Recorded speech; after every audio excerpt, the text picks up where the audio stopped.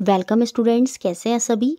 आपका अपने channel quick science में बहुत बहुत स्वागत है। जैसा कि हम सीटेट साइंस पेपर टू के लिए तैयारी कर रहे हैं और उसमें हम previous year question paper solution की सीरीज़ देख रहे हैं 2021 की और उसी में आज हमारी थर्टीथ थर्टी टू जो है वो हमारी क्लास है, जिसमें हम फिर से पैडागोजी के जो दस क्वेश्चन हैं वो देखने वाले हैं, जो हमारे इकतीस दिसंबर 2021 में पूछे गए। ये सीरीज़ मोस्ट इंपॉर्टेंट है, जो भी बच्चे 2022 का एग्ज़ाम देने जाएँगे अगर किसी ने ये सीरीज़ स्टार्टिंग से नहीं देखी है तो आई बटन में एक प्लेलिस्ट का लिंक आ रहा होगा। जैसे आप उस पर क्लिक करेंगे तो आप क्लास वन पर पहुँच जाएँगे, जिसमें आपको सबसे पहले 2021 के कंटेंट के क्वेश्चन मिल जाएँगे।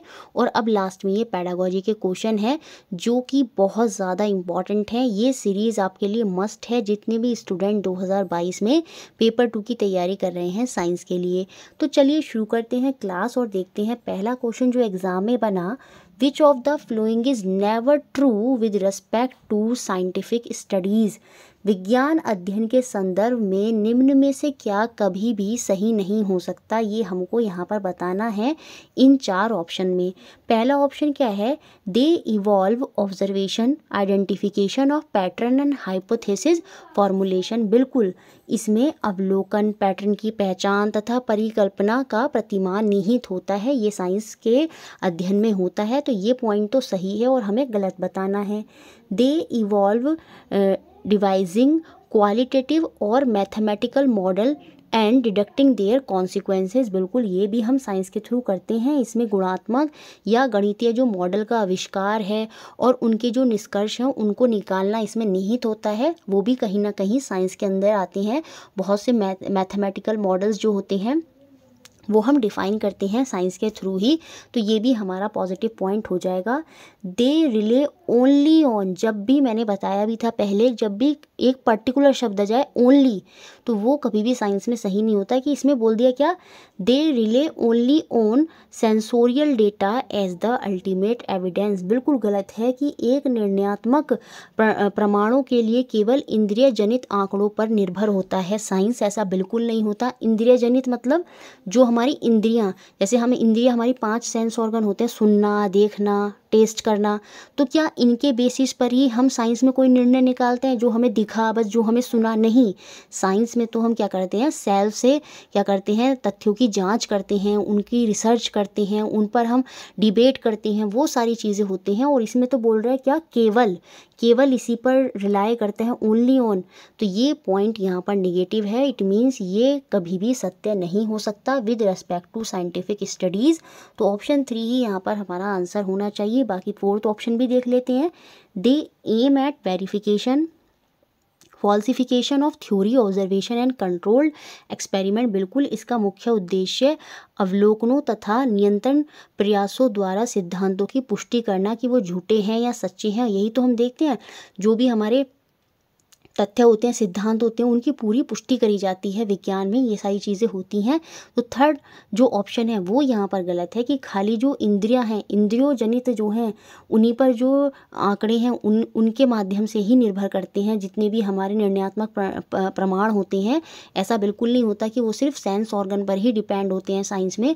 हम उनमें एक्सपेरिमेंट करते हैं रिसर्च करते हैं, उनके पूरे एविडेंस सर्च करते हैं, तब जाकर वो चीज़ें होती हैं। तो थर्ड पॉइंट जो है, वो यहाँ पर गलत हो जाएगा।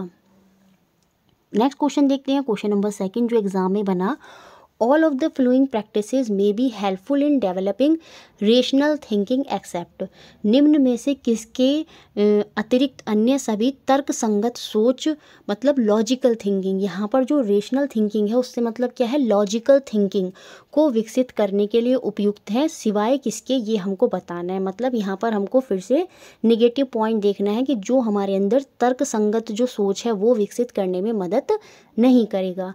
एनकरेजिंग स्केप्टिसिज्म बिल्कुल, संदेहवाद को प्रोत्साहित करना साइंस में संदेहवाद होता है, चीज़ों को लेकर संदेह होता है, और बच्चे क्लास में भी ऐसे क्वेश्चन पूछते हैं कि मैम, ये चीज़ क्यों हो रही है? बच्चे डायरेक्ट उन पर बिलीव नहीं करते। तो संदेहवाद को प्रोत्साहित दिया, प्रोत्साहित करना पड़ता है, तभी तो क्या होता है तर्क संगत जो सोच है, जो आपकी लॉजिकल थिंकिंग है, वो कहीं ना कहीं डेवलप होती है तो ये इसमें सही हो जाएगा। सेकंड क्या कह रहा है?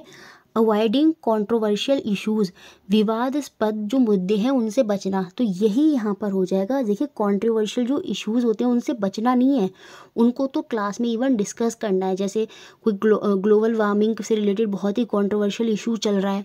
तो उसको हमें बचना नहीं है। उससे उसको तो हम क्लास में डिस्कस करेंगे और बच्चों से पूछेंगे कितने बच्चे उनके फेवर में हैं कौन निगेटिव में है। तो कहीं ना कहीं जो कंट्रोवर्शियल इश्यूज़ होते हैं, जब हम उन पर डिस्कशन करते हैं क्लास में तो उनसे बच्चों की जो तर्क संगत सोच है, वो विकसित हो रही है। और यहाँ पर तो क्या कह रहा है कि उनसे हमें बचना है, उनको हमें अवॉइड करना है।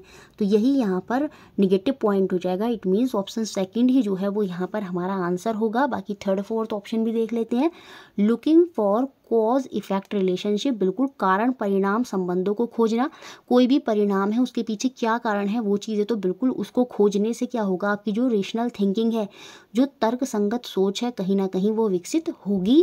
Consulting reliable and literature in science विश्वसनीय वैज्ञानिक साहित्यों से परामर्श लेना, बिल्कुल उनसे परामर्श लेने से भी आपकी लॉजिकल थिंकिंग जो है वो कहीं ना कहीं डेवलप होगी। तो सेकेंड पॉइंट ही यहाँ पर निगेटिव हो जाएगा और यही हमारा आंसर हो जाएगा। नेक्स्ट क्वेश्चन थ्री निम्न में से कौन सा कथन वैज्ञानिक प्रक्रिया की सही व्याख्यान करता है? Which of the following is more accurate description of scientific method ये हमको यहाँ पर बताना है चार ऑप्शन में। It is a fixed sequence of seven step followed by a scientist for doing science ये तो कभी नहीं होगा कि कोई भी साइंटिफिक मेथड अगर हम अपना रहे हैं तो उसमें सिर्फ़ क्या होगा? सात स्टेप होंगे किसी भी चीज़ को करने के लिए। ये तो बिल्कुल गलत है। यह विज्ञान के अध्ययन के लिए वैज्ञानिकों द्वारा प्रति पादित सात चरणों का एक निश्चित क्रम होता है, नहीं वैज्ञानिक प्रक्रिया में तो अलग अलग स्टेप हो सकते हैं किसी भी प्रॉब्लम को सॉल्व करने के लिए तो ये तो नहीं होगा। फिर क्या कहता है? It is a combination of thought process that do not necessarily occur in a certain sequence ये हो सकता है। यह विचारों का एक संयोजक है, जिसका किसी निश्चित क्रम में होना आवश्यक नहीं है। कोई भी प्रक्रिया, वैज्ञानिक प्रक्रिया कर रहे हैं तो ज़रूरी थोड़ी है उसमें फिक्स नंबर ऑफ़ स्टेप होंगे, उसमें कितने भी स्टेप हो सकते हैं, वो तो हमारे विचारों का संयोजक है, जिसमें कोई भी निश्चित क्रम होना आवश्यक नहीं है। तो ये पॉइंट हमारा सही हो सकता है वैज्ञानिक प्रक्रिया के बारे में साइंटिफिक मेथड के बारे में। बाकी थर्ड पॉइंट भी देख लेते हैं। It is a time tested method of which popular hypothesis formulation is an essential part ये एक समय प्रमाणित विधि है। नहीं, वैज्ञानिक प्रक्रिया कभी भी टाइम बाउंड नहीं होती, जिसमें परिकल्पना का निर्माण एक आवश्यक भाग है। तो ये भी यहाँ पर कुछ नहीं है। वैज्ञानिक प्रक्रिया की कोई ऐसे उसमें कोई क्लॉज या टर्म एंड कंडीशन नहीं होती, वो तो बस सिचुएशन पर डिपेंड करता है और उसी के हिसाब से हमारी जो वैज्ञानिक प्रक्रियाएँ हैं साइंटिफिक मेथड हैं, वो वर्क करती हैं। उनमें कोई भी टर्म और कंडीशन या कोई भी क्लॉज जो है वो नहीं होता तो ये भी यहाँ पर सही नहीं होगा। यह विज्ञान की एक प्रचलित विधि है, जो चयनित आंकड़ों पर अत्यधिक निर्भर करती है। नहीं, ये भी नहीं होगा। It is a popular method used in science which rely heavily और डेटा डेटा पर बिलीव करती है साइंटिफिक मेथड नहीं, मैंने बता दिया, इसमें कोई भी टर्म एंड क्लॉज नहीं होते। साइंटिफिक मेथड तो बस क्या होता है, हम कोई भी सिचुएशन है, किसी भी निष्कर्ष पर, किसी भी कॉन्क्लूजन पर हमें जाना है तो उसको लेकर हम जो भी चीज़ें करेंगे, जो भी हमारा थॉट प्रोसेस होगा, वो हम करते हैं। उसमें कोई भी पर्टिकुलर स्टेप जो है, वो नहीं होते। तो ऑप्शन नंबर सेकेंड जो है, वो यहाँ पर बिल्कुल सही डिस्क्रिप्शन करेगा, किसके के बारे में वैज्ञानिक प्रक्रिया या साइंटिफिक मेथड के बारे में। Next question four what does inferring means in science विज्ञान में निष्कर्ष निकालने का क्या अर्थ होता है? चलिए चार ऑप्शन देखते हैं। बहुत बार हम इन्फ्रेंस देखते हैं। इन्फ्रेंस क्या होता है? पर्टिकुलर एक निष्कर्ष की हमने एक बात बोल दी। कुछ भी चीज़ ऑब्ज़र्व करी, उसके बाद जो हमें कॉन्क्लूजन मिला, वही हमारा इन्फ्रेंस होता है, वही हमारा निष्कर्ष होता है। तो चलिए चार ऑप्शन देखते हैं। Actively using the sense to make direct description of some aspect of the physical world नहीं, ये नहीं होगा। फिर से सेंसेस की बात हो रही है। नहीं, ये निष्कर्ष नहीं होता कि भौतिक जगत के कुछ पहलुओं की स्पष्ट व्याख्या करने के लिए इंद्रियों का सक्रिय उपयोग करना, इसका कोई कनेक्शन नहीं बैठ रहा है। नेक्स्ट ऑप्शन देखते हैं। Generating explanation for valid observation बिल्कुल तर्क संगत अवलोकनों के लिए स्पष्टीकरण स्पष्टीकरण गणना, जैसे हमने पढ़ा। साउंड के बारे में हम पढ़ते हैं, ध्वनि के बारे में पढ़ते हैं और उसमें हम देखते हैं कि जो ध्वनि होती है ना, वो जो सॉलिड माध्यम होते हैं, उनमें तेज़ी से गमन करती है एज़ कंपेयर टू एयर या लिक्विड जैसे कि हम देखते हैं ट्रेन की पटरी पे, अगर आप जो ट्रेन की पटरी है, उस पर कान रख देंगे ना अपना तो आपको जो ट्रेन आ रही है दूर से, उसकी आवाज़ जल्दी सुनाई दे जाएगी एज़ कंपेयर टू हवा से. क्यों? क्योंकि जो साउंड है ना, वो क्या होता है कि सॉलिड में फास्ट ट्रैवल करती है तो ये चीज़ आपने ऑब्ज़र्व करी और उसके बाद आपने एक निष्कर्ष, एक इन्फ्रेंस निकाला क्या कि sound travel faster in solid medium तो वो एक निष्कर्ष निकल कर आया आपकी एक ऑब्जर्वेशन से। तो यही आपका निष्कर्ष होता है कि generating explanation for valid observation तर्क संगत जो अवलोकन है, उनके लिए स्पष्टीकरण जो है वो हम गढ़ते हैं, वही हमारा इन्फ्रेंस होता है। निष्कर्ष होता है तो ऑप्शन सेकंड ही हमारा आंसर होगा। बाकी ऑप्शन भी देख लेते हैं।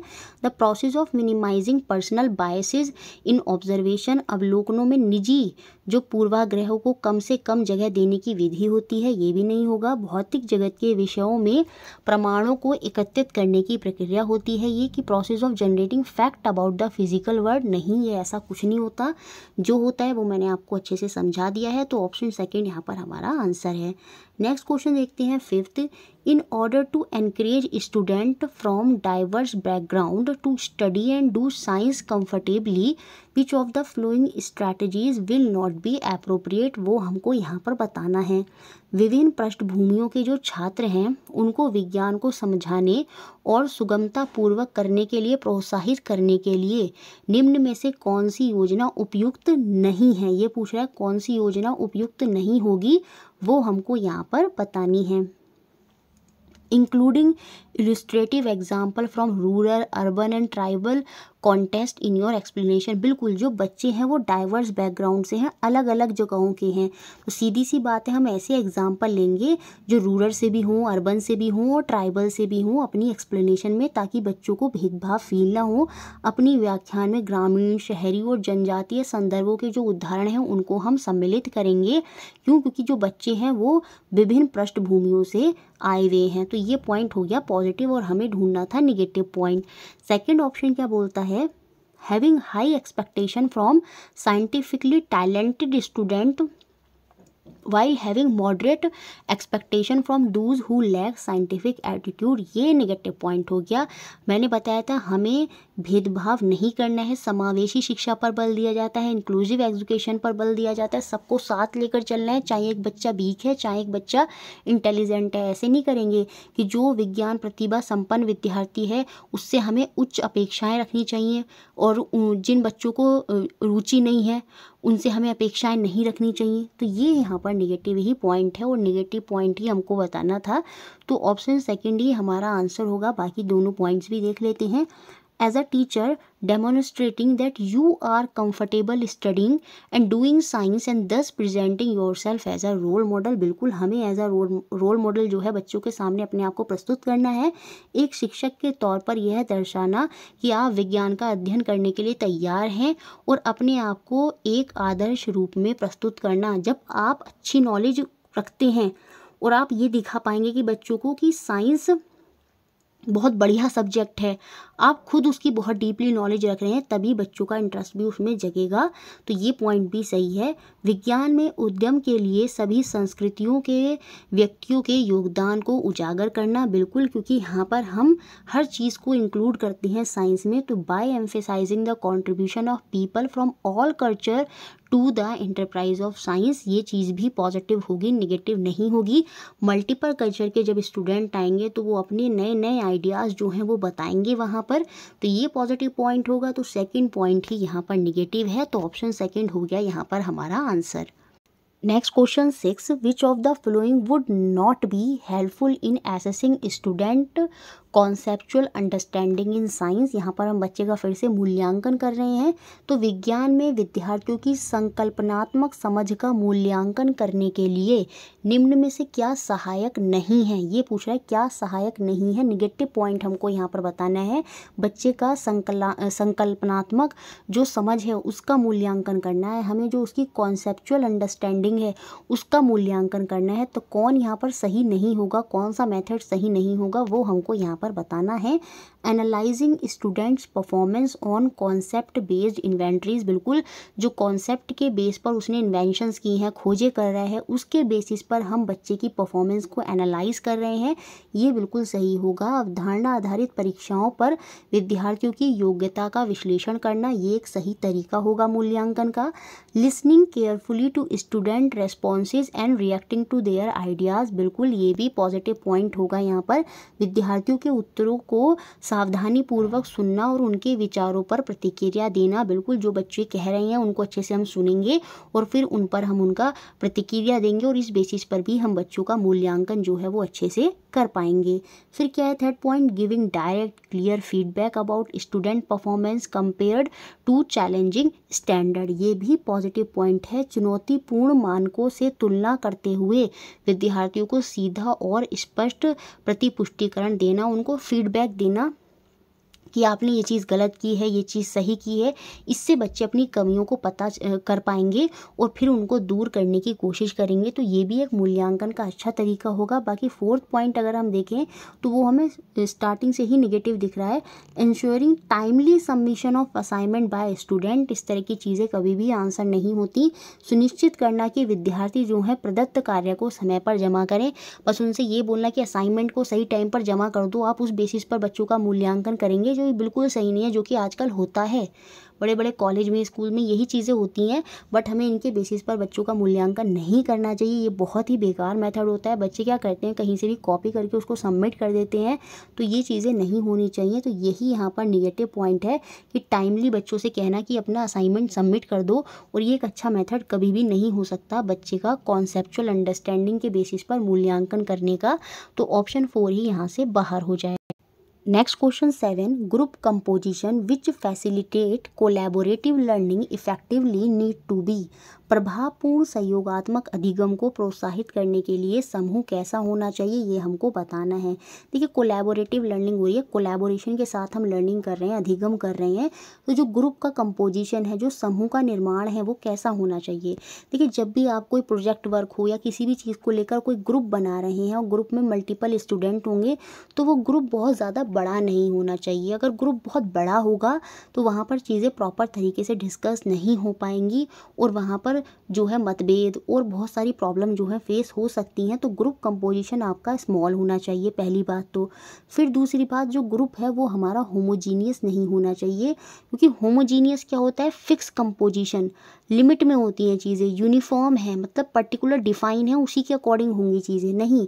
तो होमोजीनियस नहीं होगा, चीज़ें कहाँ पर कैसी होनी चाहिए, ग्रुप कैसा होना चाहिए, वो हेट्रोजीनियस होना चाहिए। यूनिफॉर्म नहीं होना चाहिए, लिमिट में नहीं होना चाहिए फिक्स प्रपोर्शन नहीं होना चाहिए उसका। तो ग्रुप जो है, वो हेट्रोजीनियस होना चाहिए, विषम रूपी होना चाहिए और साथ में वो छोटा होना चाहिए। तो ऑप्शन नंबर फोर जो है, वो यहाँ पर हमारा आंसर हो जाएगा। Next question 8. In an English classroom, the teacher while narrating a story mention a character who goes to the river for bringing drinking water. Nakul, a student, eh, intervened by asking whether drinking river water is safe because he is drinking water from a purifier at his home.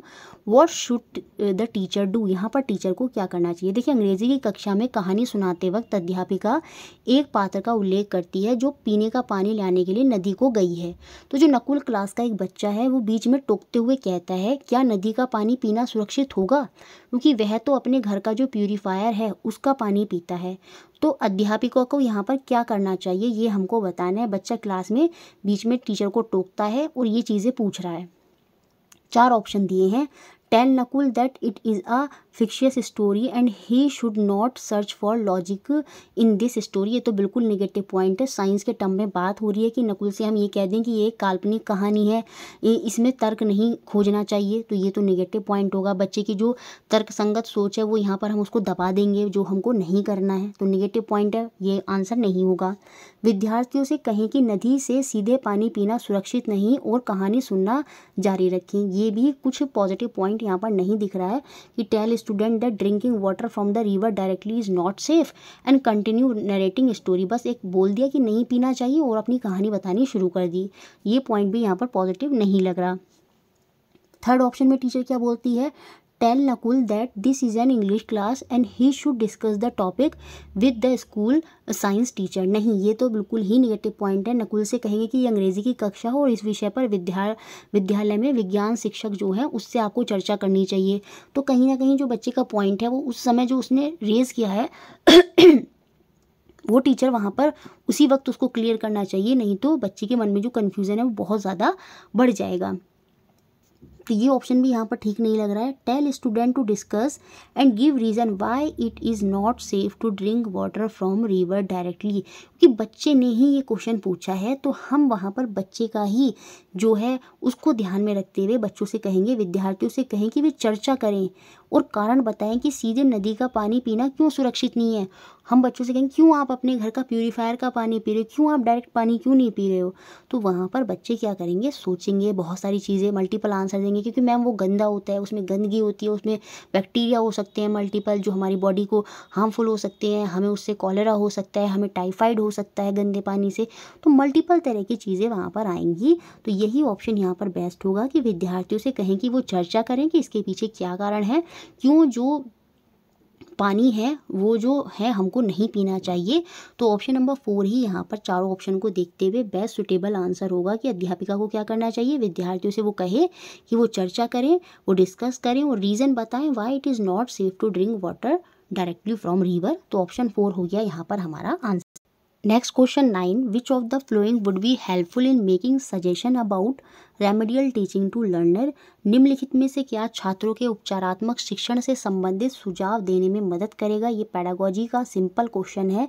देखिए, कोई भी चीज़ का अगर हमें उपचार करना है तो उसमें सबसे पहले क्या होना चाहिए? समस्या की पहचान होनी चाहिए। तो डायग्नोस्टिक इवेल्युएशन निदानात्मक मूल्यांकन होगा। उसके बाद ही हम उपचारात्मक शिक्षण करेंगे रेमेडियल टीचिंग करेंगे। तो ऑप्शन नंबर फोर ही यहाँ पर हमारा आंसर हो जाएगा। सीडीपी में हम ये चीज़ें पढ़ते भी हैं। नेक्स्ट और लास्ट क्वेश्चन देखते हैं। क्वेश्चन नंबर टेन जो एग्ज़ाम में बना, इससे पहले एक रिक्वेस्ट है, वीडियो दिल से अच्छा लगता है तो प्लीज़ उसको लाइक ज़रूर कर दिया करें। सबसे ज़्यादा आपके सपोर्ट की ज़रूरत है तो प्लीज़ वीडियो को शेयर कर दिया करें। इतनी उम्मीद जो मैम है वो आपसे रख सकती हैं। A student says that died seed of kidney bean, जिसे हम राजमा बोलते हैं, are non living, because they seem no more alive than a handful of pebbles पत्थरों की तरह what would what would be your response to his और her observation एक विद्यार्थी यह कहता है कि राजमा के जो सूखे बीज होते हैं, वो निर्जीव हैं, क्योंकि वो एक मुट्ठी भर कंकड़ से अधिक कुछ प्रतीत नहीं होते। उसके इस अवलोकन पर आपकी क्या प्रतिक्रिया होगी? क्योंकि उसका अवलोकन सही नहीं है। वो बीज को, जो बीज होता है, जो बीज है, उसको कंपैरिजन एक सूखे बीज का कंपैरिजन वो कंकड़ से कर रहा है। तो वो चीज़, उसका जो अवलोकन है, उसकी जो ऑब्जर्वेशन है, उसको आप कैसे ठीक करेंगे तो उसमें आपकी क्या प्रतिक्रिया होगी, ये हमको बताना है। The seed are alive because they have potential for displaying all the properties of life when place in an appropriate environment बिल्कुल, ये सही होगा। बीज जो उसको सोच रहा है कि बीज निर्जीव होते हैं, नहीं, बीज जीवित होते हैं, क्योंकि किसी उपयुक्त वातावरण में रखने पर उनमें जीवन की सभी प्रक्रियाओं को दर्शाने की क्षमता होती है। बीजों को जर्मिनेशन ऑफ़ सीड हम पढ़ते हैं प्रॉपर टेम्परेचर प्रॉपर पानी, जब प्रॉपर एनवायरनमेंट उनको मिलता है तो उन बीजों से बाद में हमको पौधे मिलते हैं तो वो निर्जीव नहीं, वो सजीव होते हैं। कब? जब उनको प्रॉपर एनवायरनमेंट मिलता है, उसके साथ वो प्रतिक्रिया करते हैं और फिर पूरे जीवन में जो सारी प्रतिक्रियाएँ होती हैं, उनको दर्शाने की क्षमता उनमें होती है। तो क्योंकि बच्चा गलत अवधारणा कर रहा है, वो राजमे के सूखे बीज को पत्थर से कंपैरिजन कर रहा है, जो कि गलत है तो उसमें यही जो है प्रतिक्रिया बिल्कुल सही होनी चाहिए। बाकी सारे ऑप्शन भी देख लेते हैं।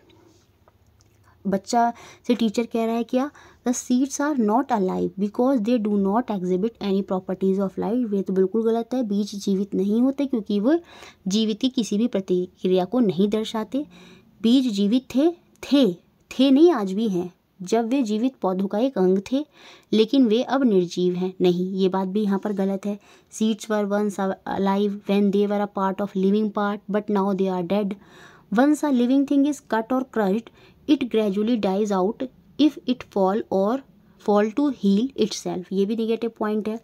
एक बार किसी जीवित पदार्थ को काटने या तोड़ने पर यदि वह अपने आप को स्वयं स्वस्थ ना कर सके तो वह धीरे धीरे मर जाता है। इसका तो यहाँ से कोई भी संबंध नहीं है। तो यही चीज़ यहाँ पर सही होगी, क्योंकि बच्चे की गलत अवधारणा है। गलत अवलोकन किया है उसने तो उस पर आपकी प्रतिक्रिया यही होनी चाहिए कि आप उसे कहेंगे, बीज जो है वो जीवित होते हैं बच्चे। अगर उनको प्रॉपर टेम्परेचर प्रॉपर एनवायरनमेंट मिले तो वो जो जीवन है जो जीवन रखने वाले जो प्रजातियाँ होती हैं, जो वो सारी प्रतिक्रियाएँ करती हैं, वो प्रतिक्रियाएँ, वो जीव जो हैं, वो जो बीज हैं, वो दर्शा सकते हैं, उनमें उनकी, उनको दर्शाने की क्षमता होती है। तो ऑप्शन वन जो है, यहाँ पर बिल्कुल सुटेबल होगा। इस तरह से हमने सारे ऑप्शन देखे, सारे क्वेश्चन देखे। मुझे लगता है सारी चीज़ें आपको क्लियर हो गई होंगी। वीडियो अच्छा लगता है दिल से तो लाइक करें शेयर करें और चैनल से जुड़े रहें।